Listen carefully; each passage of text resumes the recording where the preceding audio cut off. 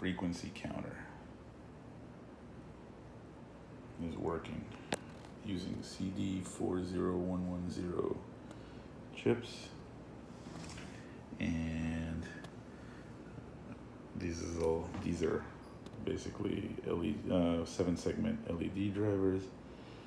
Um, the gating signal is a 0.5 hertz signal and um, this is a 100 hertz about 555 timer and basically it resets and latches every time the uh, gating 555 timer, 0.5 hertz signal goes on.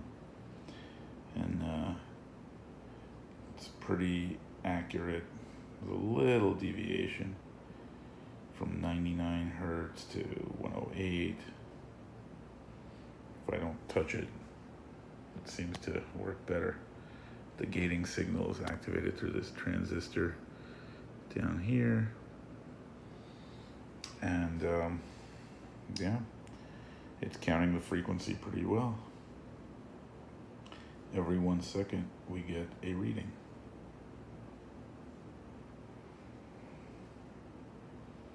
It's finally working, yay!